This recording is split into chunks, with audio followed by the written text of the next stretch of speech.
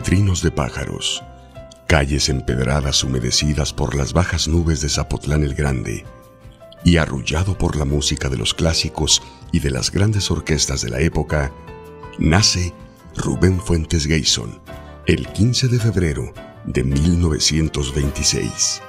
En Zapotlán el Grande transcurrieron sus primeros años, asistiendo a la escuela primaria, explorando el entorno con sus amigos. Una ocasión, no, pues hay dos ocasiones, fue de vacaciones al rancho de mi padre, en la hacienda, en la Sierra del Tigre, en la Serranía, cerca de actualmente Concepción de Buenos Aires y el Corralito.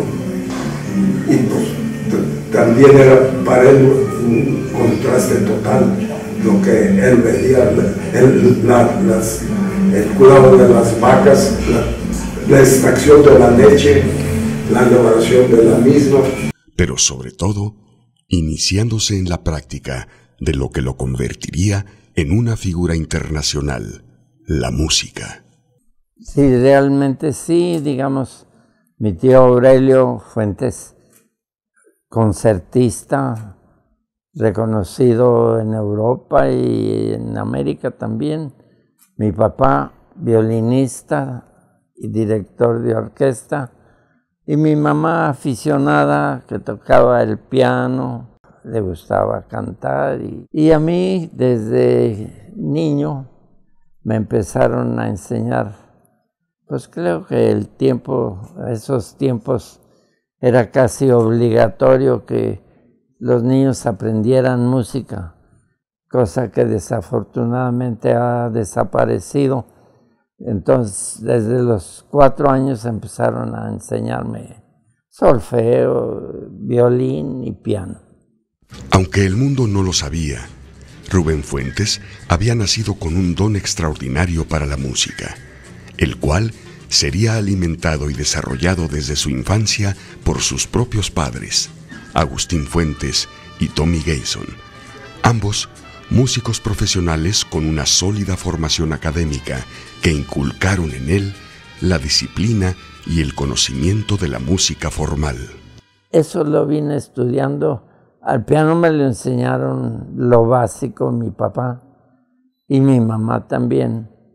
Pero el piano realmente lo vine estudiando ya cuando estuve en la universidad aquí en en Guadalajara. Eh, tuve profesores aquí, Cerrato, Soropesa, y ya fui sin entrar a una escuela, sino siempre con profesores particulares. El inevitable tránsito de su natal Zapotlán a las ciudades de Guadalajara primero y al Distrito Federal después, forjó en él un carácter independiente que le acompañaría toda su vida. Empeñado en construir su propio camino, en 1944 se integra al Mariachi Vargas de Tecalitlán en calidad de violinista, para en menos de dos años convertirse en su director musical y arreglista, dejando desde entonces una huella perenne en lo que hoy se considera el mejor mariachi del mundo. El aprendizaje de la música formal, obtenido desde su infancia, le permitió imprimirle a la música popular una forma y un estilo muy propios en el tejido melódico y armónico. Por ello, es considerado el creador del sonido del mariachi moderno o mariachi orquesta, hasta llegar a lo que él mismo ha denominado mariachi sinfónico. Pues yo siempre quise ir superando al principio, como digo, estuve en un grupo de, éramos ocho, y ninguno leía. Después fueron saliendo los que no se aplicaban a aprender, y, después otros mejorcitos, mejorcitos. Y cada vez, conforme teníamos elementos más capacitados, yo iba escribiendo con mayor libertad. Yo empecé el proyecto de hacer el mariachi sinfónico hace como, como 25 años. Empezamos en Estados Unidos y se empezaron a hacer escuelas y en las escuelas, en la actualidad, hay más eh, estudiantes, eh, sobre todo en el sur, estudiando música de mariachi que música de banda, que música de jazz, que música clásica. La música mexicana ha tenido un gran incremento en la mentalidad de los niños. A pesar de su personalidad un tanto reservada y selectiva, Rubén Fuentes ha contado entre sus amigos con grandes personalidades de la música mexicana. Pedro Infante, Miguel Aceves Mejía, José Alfredo Jiménez, Marco Antonio Muñiz, Lola Beltrán, Armando Manzanero y tantos otros artistas con quienes compartiera talento, amistad y buen humor a lo largo de su exitosa carrera. Me tocó, ser amigo de Pedro y ser su director los últimos cinco años de su vida eh, y viajar con él. José Alfredo me tocó arreglarle desde su primera hasta última, hasta su última canción, y Marco Antonio, por que me sirvió para bifurcar mi, mi cuestión de compositor. A Marco Antonio le he compuesto 68 canciones y a Pedro le compuse 44, a Miguel Aceves 30, en fin, soy como sastre a la medida. Bueno, pues hablar de Rubén Fuentes es hablar de una institución, afortunadamente, con mucho tiempo es hablar de un señor que pues el tiempo le ha permitido tener acceso a todos los grandes personajes e ídolos que hemos tenido. Hablamos de un señor como Pedro Infante y es inolvidable sus 100 años. Cuando hablamos de Jorge Negrete, es un señor que tuvo la batuta para dirigirlo cuando hablamos del mariachi Vargas, de Miguel Aceves Mejía, de José Alfredo Jiménez, pues estamos hablando del señor que vistió todas las canciones que tienen que ver con esos grandes personajes. Y en especial, yo más lo amo.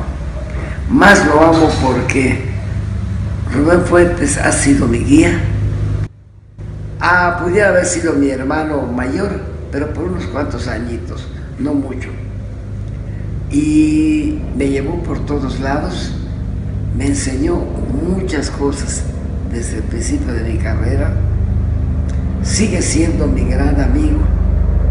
Disfruto con él los contados pero maravillosos momentos cuando nos sentamos a comer, cuando nos tomamos un tequila y platicamos. Ahí voy a estar cuando lo vean Fuentes, al Señor que tanto quiero y tanto admiro.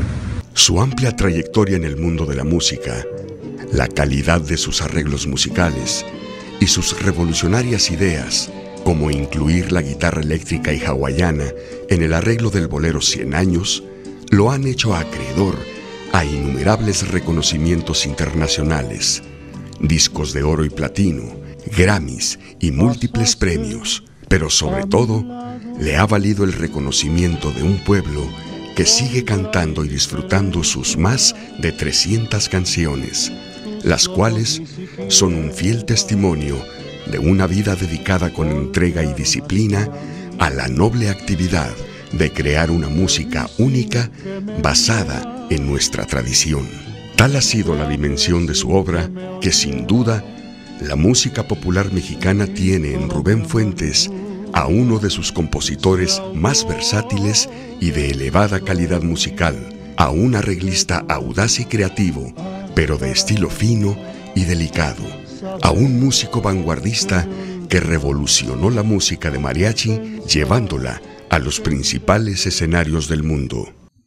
Y yo me he aplicado a la cuestión sinfónica y, por ejemplo, aquí en Guadalajara Ahorita estamos en el año 23 de presentar conciertos y empezamos en Estados Unidos 12 años antes. Empezamos y pienso seguir con eso.